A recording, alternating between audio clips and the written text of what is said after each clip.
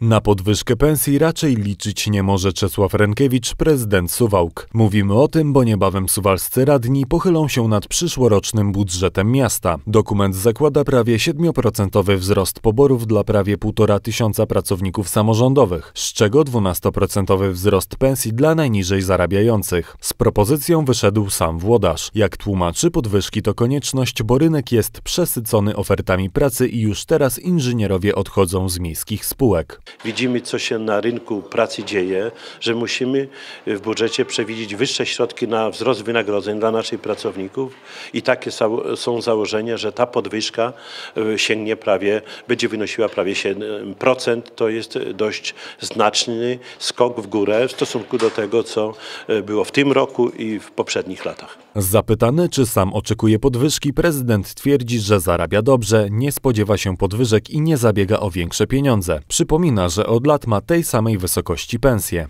Nie, nie się tego i nawet w ogóle nie zabiegam. Y, ja za dużo zarabiam i tak, y, ale, ale, ale y, fakt faktem, że ja chyba jeszcze jadę na poborach mojego poprzednika. No bo to, jest, to są godziwe wynagrodzenia. Godziwe wynagrodzenia. Prognozy włodarza są właściwe, bo radni, którzy decydują o prezydenckich poborach, nawet nie rozmawiali o ewentualnym wzroście wynagrodzenia. Tak przynajmniej mówi Zbigniew Demezer, przewodniczący klubu Łączą Nas Suwałki. Nie mamy takich zamiarów, y, nie rozmawialiśmy na ten temat, y, a osobiście uważam, że wynagrodzenie, które zostało y, zaproponowane panu prezydentowi i przyjęte w formie uchwały, e, jest e, bardzo dobrym wynagrodzeniem i adekwatnym do zadań, które pan prezydent wykonuje. Z propozycją podwyżki prezydenckiej pensji z pewnością nie wyjdzie opozycyjny wobec prezydenta klub Prawo i Sprawiedliwość na czele z radnym Grzegorzem Gorlo. Zdaniem przewodniczącego podwyżki dla pracowników samorządowych są spóźnione, a prezydent na wzrost pensji nie zasłużył. Jeżeli chodzi o podwyżki, to ja wręcz uważam, że ci ludzie, którzy powinni dostać podwyżki, czyli dziady kultury mieliśmy w zeszłym roku, było trzeba reagować dużo wcześniej na potrzeby rynku, tak naprawdę, bo praca powinna być lepiej wynagradzana. I teraz widzimy, jak ludzie nam uciekają, jeżeli chodzi o pracowników samorządowych. E, I teraz podwyżki, one już są nawet za małe do tego, żeby zatrzymać ludzi i wyrównać e, niedobory na rynku, jeżeli chodzi o pensje naszych e, pracowników, są niższe niż pensje na rynku.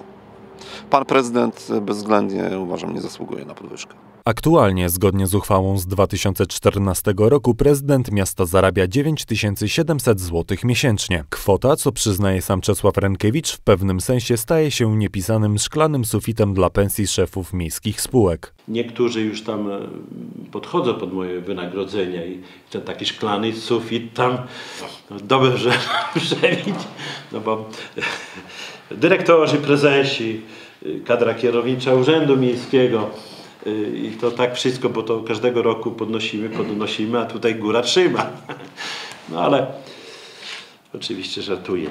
Tymczasem specjaliści zarządzania oczekują pieniędzy adekwatnych do wiedzy i umiejętności. Zdaniem Grzegorza Gorlo prezydencka pensja nie powinna ograniczać ich poborów. Natomiast Zbigniew Demezer stwierdza, że każdy dobry fachowiec powinien mieć godne pobory. To właśnie to trzeba mieć tą odwagę, tak albo ma się kompleksy i się na bazie kompleksów, czyli pensji własnej, e, zarządza miastem, albo jeżeli mam odwagę, to potrafię dać komuś więcej. Ja nie mam z tym problemu. Jeżeli nie będzie to rodziło skutków prawnych, e, tak, dobry fachowiec powinien dobrze zarabiać. I to nieważne, czy to jest na stanowisku inżyniera, czy na stanowisku kierowcy, czy na stanowisku osoby zarządzającej czy kierowniczej, te pobory powinny być dobrze.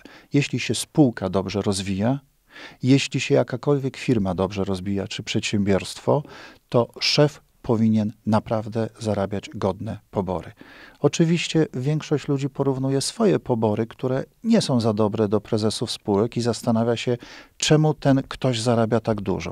Ja bym zadał inne pytanie, dlaczego my zarabiamy trochę mniej niż powinniśmy zarabiać. Na koniec dodajmy, że nie tylko prezydent Suwałk nie dostanie w przyszłym roku podwyżki. O podniesieniu wynagrodzenia włodarzom swoich miast nie rozmawiali też radni Sejn i Augustowa.